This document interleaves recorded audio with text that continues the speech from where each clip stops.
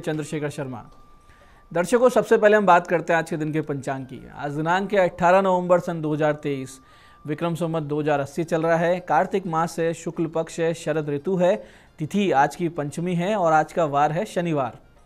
आज पांडव ज्ञान पंचमी है, जिसे सौभाग्य पंचमी भी कहते हैं, लाभ पंचमी भी कहते हैं।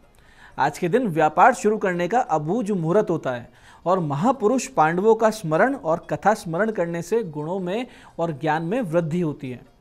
आज के नक्षत्र की बात करें तो उत्तर शाढ़ा नक्षत्र रात्रि बारह बज के सात मिनट तक रहेगा। आगे श्रवण नक्षत्र है। योग गंड है और योग की दृष्टि से लौकिक कार्यों के लिए आज का दिन शुभ नहीं है। करण बालव है। सुबह नौ बज के बीस मिनट तक आगे कौलव करण रहेगा। शाम आठ बज के तेईस मिनट तक। फिर तैतिल करण है। सूर्योदय का समय दर्शकों सुबह छः बज के अड़तालीस मिनट का था और सूर्यास्त का समय शाम पाँच बज के पैंतीस मिनट का है। आज का राहु काल सुबह नौ से दस बज के तीस मिनट के बीच रहेगा। इसे पूरी तरीके से टाल दीजिएगा। इसमें कोई शुभ कार्य नहीं करते हैं और लंबी यात्रा पे नहीं निकलना चाहिए। अभिजीत मुहूर्त आज ग्यारह बज के पचास मिनट से दोपहर बारह बज के तैंतीस मिनट के बीच है। दिन में चार बार दुष्ट मुहूर्त भी रहेंगे। हालाँकि ये चारों दुष्ट मुहूर्त सुबह सुबह बहुत जल्दी निकल जाएँगे, लेकिन रोज़ाना इन्हें अच्छे से समझें और सूझबूझ से टाल दिया करें। आज के दुष्ट मुहूर्त थे सुबह छः बज के अड़तालीस मिनट, सात बज के इकतीस मिनट, सात बज के बत्तीस मिनट और आठ बज के चौदह मिनट। आज का दिशाशूल दर्शकों पूर्व दिशा में तो पहली कोशिश तो यही रहे कि पूर्व दिशा की यात्रा को आप टाल दें, लेकिन अगर जाना बहुत ज़रूरी है, अनिवार्य यात्रा है तो इसका परिहार करें। परिहार बहुत सरल है। पूर्व की ओर मुख कीजिए, थोड़ा सा अदरक या उड़द के दाने खाकर पहले पाँच कदम पीछे चलें। और जब ये प्रक्रिया आप करें तो अपने हृदय में अपने इष्ट या भगवान श्री राम का ध्यान करें, उनसे प्रार्थना करें और फिर पूर्व दिशा की यात्रा करें। ऐसा करेंगे, यात्रा मंगल में रहेगी, सुरक्षित रहेगी, शुभ रहेगी और किसी प्रकार का कोई संकट नहीं आएगा। आज का शुभ समय दर्शकों, यानी आज के दिन का सदुपयोग करने का जो समय है, वो है सुबह आठ बज के दस मिनट से सुबह नौ बजे तक, फिर दोपहर बारह बज के तीस मिनट से दोपहर बाद चार बजे तक, और फिर शाम पाँच बज के पैंतीस मिनट से सात बजे तक। ये तीनों कालखंड बाकी पूरे दिन की अपेक्षा ज़्यादा शुभ योग कारक है। इस दौरान किए गए एफर्ट्स आपकी सफलता के चांसेस बढ़ा देते हैं। आज की चंद्र राशि दर्शकों धनु है। सुबह सात बजे तक फिर चंद्रमा मकर राशि में प्रवेश कर जाएँगे, जिससे आज का दिन सभी बारह राशियों के लिए कुछ इस प्रकार रहने वाला है। सबसे पहले बात करते हैं मेष राशि की। तो मेष राशि वाले मानसिक शांति का अनुभव करेंगे, प्रसन्न चित्त रहेंगे। वहीं वृक्ष राशि वाले भाग्य का पूरा पूरा साथ पाएँगे। लेखक, कवि और मार्केटिंग से जुड़े हुए लोगों के लिए बहुत ही अच्छा दिन है। वहीं मिथुन राशि वाले स्वास्थ्य में आज परेशानी का अनुभव करेंगे, लेकिन आर्थिक लाभ संभव है।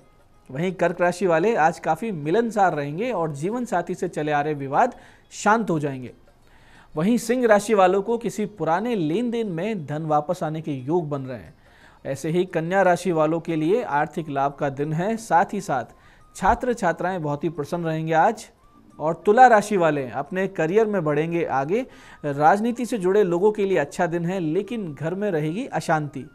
वहीं वृश्चिक राशि वाले भाग्य का साथ पाएँगे और आज रहेंगे बहुत ज़्यादा क्रिएटिव वहीं धनु राशि वाले आज गले के इन्फेक्शन का शिकार हो सकते हैं और आर्थिक लाभ, लेकिन आज आपको संभव है। मकर राशि वालों का पार्टनर से बनेगा अच्छा संबंध, लेकिन आज आप भावनात्मक रूप से काफ़ी कमज़ोर पाएँगे इस खुद को। ऐसे ही कुंभ राशि वाले आज किसी को पैसे ना दे उधार और व्यापार में रहें बहुत ज़्यादा सावधान क्योंकि धोखा मिलने के चांसेस बन रहे हैं। और मीन राशि वाले पाएँगे आज बहुत ही सुंदर सलाह किसी से और जीवन में बढ़ेंगे आगे। दर्शकों, आज सौभाग्य पंचमी का त्यौहार है। सौभाग्य पंचमी जीवन में सुख और सौभाग्य की वृद्धि करती है।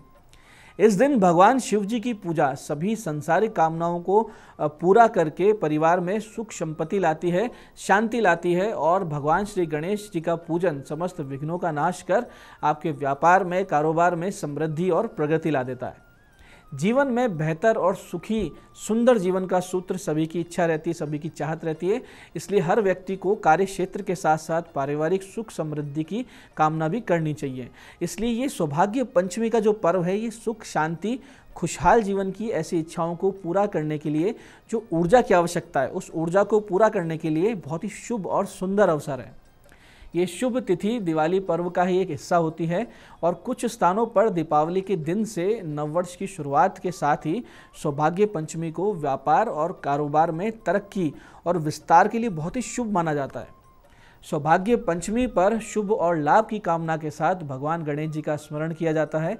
सौभाग्य पंचमी पूजन के दिन प्रातःकाल स्नान इत्यादि से आप निवृत्त हों, भगवान सूर्य को जलाभिषेक करें, यानी जल का अर्घ दें तत्पश्चात शुभ मुहूर्त में विग्रह में भगवान शिव और गणेश जी की प्रतिमाओं को स्थापित करना चाहिए। यानी उनकी मूर्ति या फ़ोटो या उनका यंत्र स्थापित हो और या फिर संभव हो तो फिर श्री गणेश जी को सुपारी पर मौली लपेट कर चावल के अष्टदल पर विराजित करें। फिर भगवान गणेश जी को चंदन, सिंदूर, अक्षत, फूल, दुर्वा से पूजन करें और भगवान शिव जी को भस्म बिल्वपत्र धतुरा, सफ़ेद वस्त्र अर्पित कर पूजन करें।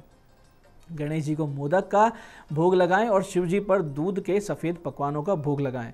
इसके बाद में इस विशिष्ट मंत्र से गणेश जी का आह्वान करें। मंत्र इस प्रकार है, लंबोदरम महाकायम गजवक्त्रम चतुर्भुजम आव्याम्य हम देवम गणेश सिद्धिदायकम। इस प्रकार से भगवान का आह्वान करें। इसके बाद आप धन की कमी को दूर करने के लिए और काम अटकना बंद हो इसके लिए और जीवन में लगातार सफलता मिलते रहें। इस संकल्प के साथ भगवान गणेश जी के बाद माता पार्वती का भी ध्यान करें, कामाख्या भगवती के रूप में और इनकी पंचोपचार से पूजन करें।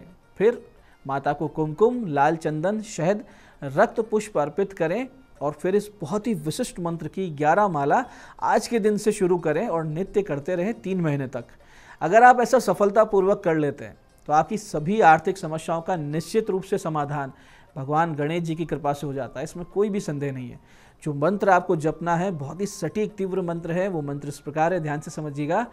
ओम गंग गणपते नमः, ओम सर्व विघ्न विनाशिनी कामाक्षाय नमः, स्वाहा। मंत्र फिर से समझते हैं। ओम गंग गणपते नमः, ओम सर्व विघ्न विनाशिनी कामाक्षाय नमः, स्वाहा। तो ये आज से आप साधना शुरू कीजिए और इसका अपने जीवन में चमत्कार देखिए। ऐसे ही काम बनते बनते बिगड़ते हो या फिर आप बहुत ज़्यादा कंफ्यूज हो अपने भविष्य और करियर को लेकर। निर्णय क्षमता आपकी बहुत ज़्यादा कमज़ोर हो, ऐसी किसी भी स्थिति में नित्य भगवान गणेश जी को दो लड्डू बेसन के, घी का दीपक 21 दुर्वा अर्पित करते हुए कुछ दिन पाँच माला, इस बहुत ही विशिष्ट मंत्र का जाप करें। बहुत ही जल्दी समस्याओं से आप बाहर आ जाएँगे, इसमें कोई भी संदेह नहीं। जो मंत्र आपको जप करना है, ध्यान से समझिएगा, बहुत ही विशिष्ट मंत्र है, मंत्र इस प्रकार है ओम ह्रीम श्रीम क्लीम गौंग गंग श्री महागणाधिपते नमः। मंत्र फिर से समझते हैं। ओम ह्रीम श्रीम क्लीम गौंग गंग श्री महागणाधिपते नमः। तो इस मंत्र का जाप करें और भगवान गणेश जी कृपा के पात्र बने। ऐसे ही दर्शकों, आज आप भगवान शिव जी का आह्वान कर उनका पंचोपचार से पूजन करें। और जिस मंत्र से आह्वान करना है, वो इस प्रकार है, त्रिनेत्राय नमस्तुभ्यम उमा देहार्द धारिणे, त्रिशूल धारिणे तुभ्यम भूतानाम पते नमः। इस प्रकार से भगवान का आह्वान करें। इसके बाद आप बहुत ही विशिष्ट मंत्र की साधना शुरू करें आज के दिन और उससे अपने जीवन में चमत्कारिक परिवर्तन लाएँ। तो जिस मंत्र का आज से साधन करना है, वो इस प्रकार है, ध्यान से समझिएगा। ओम ह्रीम श्रीम ठम ठम ठम नमो भगवते, मम सर्व कार्याणि साधे साधे, माम रक्ष रक्ष शीघ्रम माम धनिनम कुरु कुरु, फट श्रियम देही प्रज्ञाम देही ममापत्यम निवारे निवारे, स्वाहा। तो इस शिव मंत्र को आप फिर से समझिए, मंत्र इस प्रकार है।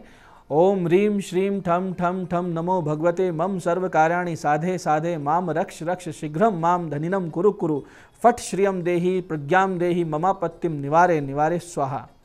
अब इसका विधान समझिए। विधान इस प्रकार है कि शिव मंदिर में आज आप जाएँ, पाँच त्रिदल बिलु पत्र लेकर जाएँ। प्रत्येक बिलु पत्र को हाथ में रखें सत्ताईस बार इस मंत्र का जाप करें, फिर उस बिल पत्र को शिवलिंग पर अर्पित कर दीजिए। ऐसे आपको पाँचों बिल पत्र अर्पित करने सत्ताईस सत्ताईस जाप के बाद। बहुत ही जल्दी, यानी कुछ ही दिनों में आप स्वयं को सभी समस्याओं से बाहर आते हुए देखेंगे और जीवन में अमोघ शिव कृपा का अनुभव भी करेंगे। इसके बाद में आज आप भगवान गणेश जी और शिव जी की धूप दीप से आरती करें और अपने द्वार के दोनों ओर, यानी आपका जो घर है, उसके मुख्य द्वार के दोनों ओर स्वास्तिक का निर्माण करें, भगवान को प्रसाद अर्पित करें, समस्त लोगों में वितरित करें, स्वयं भी ग्रहण करें। आज के दिन कुछ विशिष्ट उपाय भी आप कर सकते हैं जो आज ही के दिन किए जाते हैं और समस्याओं से बाहर निकाल देते हैं। जैसे कि एक सुपारी पर मौली लपेट कर उसे गणपति के रूप में स्थापित करें, संक्षिप्त पूजन करें, चंदन, सिंदूर, अक्षत, फूल, दुर्वा से और प्रथम पूज्य गणेश जी पूजा करके और फिर भस्म, बिलुपत्र, धतुरा, सफ़ेद वस्त्र भगवान शिव जी पर अर्पित करें। गणेश जी को अपने मन की बात कह दें, आज के दिन तो निश्चित रूप से आपका कार्य सिद्ध होगा इन सब वस्तुओं को अर्पित करने के बाद। ऐसे ही एक नारियल पर काला धागा लपेट कर उसे पूरा दिन सुबह से रात्रि तक पूजा स्थान पर रखें और ये सारी पूजाएँ करें और सायकाल में उसे धागे सहित कपूर रखकर उसके ऊपर उसे जला दें। याद से आरंभ करके 11 दिनों तक ये उपाय आप करें तो घर में सुख समृद्धि का वातावरण आपको दिखने लगेगा नेगेटिविटी घर से दूर चली जाएगी। ऐसे ही पके हुए मिट्टी के घड़े को लाल रंग से रंग कर उसमें जटा युक्त नारियल रखकर उसे मुख पर मोली बाँध दें और बहते हुए जल में प्रवाहित कर दें। और आसपास अगर बहता हुआ जल नहीं है तो किसी मंदिर में लगे हुए पीपल के वृक्ष के नीचे जाके रखाएँ परिवार में सुख समृद्धि की निश्चित रूप से बढ़ोतरी होगी।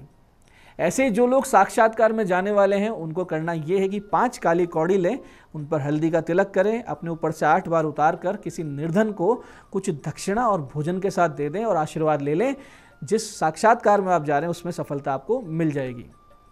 ऐसी आर्थिक स्थिति को सुधारने के लिए आज आप पूजन के समय चांदी की एक डिब्बी में थोड़ी सी नाग केसर और शहद रखकर पूजन करें और अगले दिन यानी कल सुबह चांदी की डिब्बी में नाग केसर शहद को उसे रखकर और लाल वस्त्र में लपेट दें और धन रखने के स्थान पर उसे रख दें। तो निश्चित रूप से धन की आपकी वृद्धि होने लगेगी। तो दर्शकों, मैं पंडित चंद्रशेखर शर्मा ये आशा करता हूँ कि आप बताए गए उपायों को और पर्व की विधि विधान से, नियम से पालना करते हुए साधना मार्ग पर आगे बढ़ेंगे और भगवान गणेश जी और शिव जी की अमोघ कृपा प्राप्त करेंगे। कार्यक्रम में बने रहने के लिए बहुत बहुत साधुवाद।